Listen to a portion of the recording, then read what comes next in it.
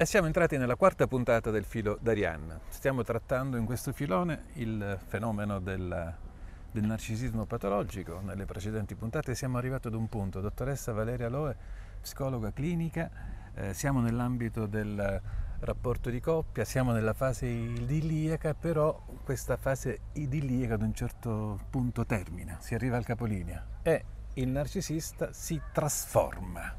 Perché si trasforma? E in cosa si trasforma soprattutto?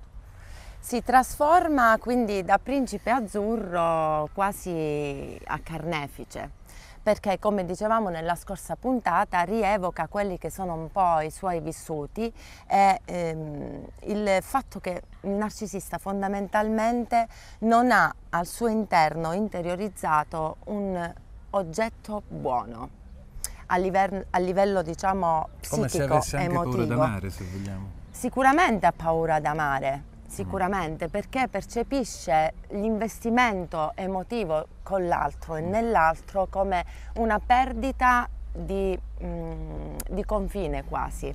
Eh, ricordiamo che mh, colui o colei che soffre di narcisismo patologico ha in realtà un nucleo al suo interno molto fragile.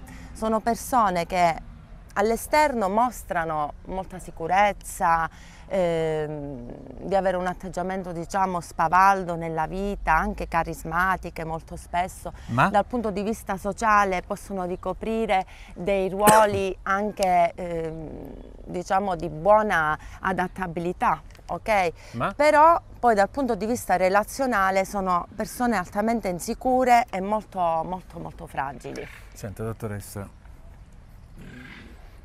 cosa possiamo dire? Cioè, mm, una persona, non dico una persona normale perché sennò viviamo il narcisista patologico come se fosse una persona anormale e non lo è. Ognuno di noi può avere delle problematiche, non significa che no, siamo anormali, ci mancherebbe altro. Però si riesce a stabilire un ra- si può convivere, si può creare una storia, una famiglia con un narcisista patologico, se ne può uscire il narcisista patologico e come eventualmente da questa sindrome, se sindrome è.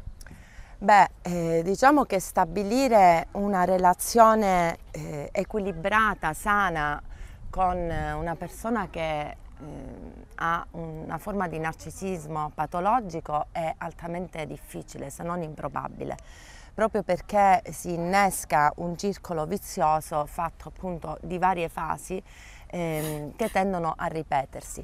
Potrebbe palesarsi in qualche modo eh, l'opportunità nel momento in cui eh, da entrambe le parti eh, si intraprende un, un, percorso, un grosso lavoro, soprattutto dal punto di vista del, del narcisista. Bene, c'è da dire che comunque è una tipologia di disturbo molto ostica, è molto mm. difficile da, ah, da sì? trattare.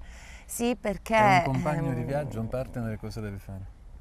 Ma eh, quando ci troviamo in relazioni tossiche come può essere appunto quella con una persona a stampo fortemente narcisista, in quel caso dovrebbe subentrare anche l'amore per se stessi. Quindi e a quel punto non, eh, a quel punto se ci sono appunto La psicoterapia riesce a dare risposte in questo senso? senza dubbio può essere di, di grande aiuto, Aiuto. Ehm, a fornire degli strumenti, a fornire degli risolutivo. strumenti.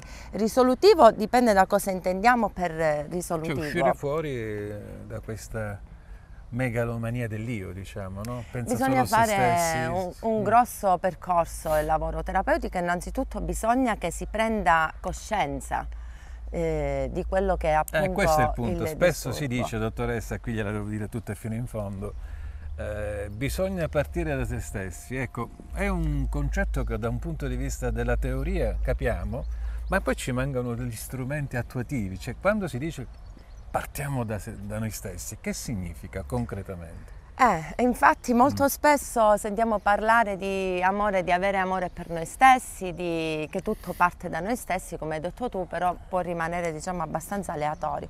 Innanzitutto partire da se stessi, dal mio punto di vista, significa cominciare ad entrare nell'ottica della responsabilità.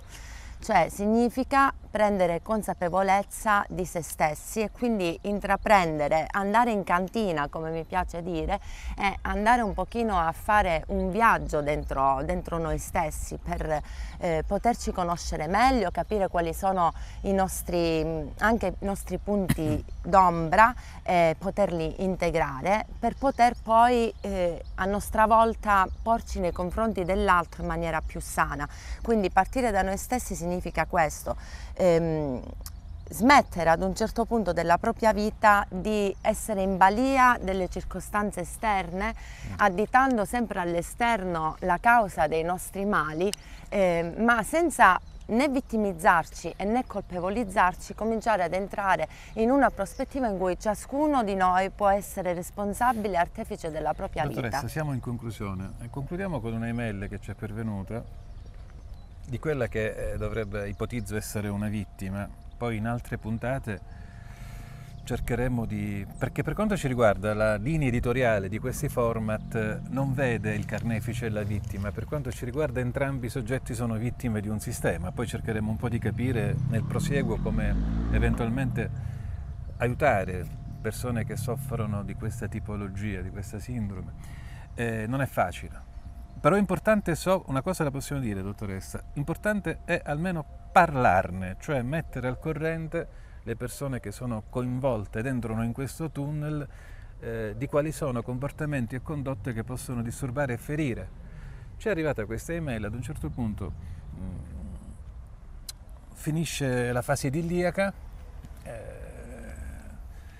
e il narcisista facil, difficilmente si assume le responsabilità, è come se fosse sempre colpa degli altri. Un car- uno cosa? dei tratti caratteristici proprio è questo, l'incapacità di eh, autocritica totale e quindi di prendere coscienza di quelle che sono le sue... In discussione Molto difficilmente il narcisista si mette... si mette, in ah, discussione, ah. per questo molto difficilmente giunge anche in, in, percorsi diciamo, terapeutici, proprio perché non ha la capacità di autoriflessione poco sviluppata, pur essendo una persona dal punto di vista intellettivo e sociale molto spesso ben adattata. Bene, continuate a scriverci, noi siamo qui per continuare questo nostro percorso e per oggi con il filo d'Arianna è tutto.